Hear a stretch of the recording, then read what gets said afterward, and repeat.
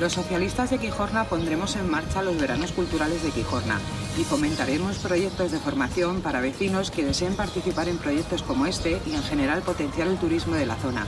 Vota PSOE.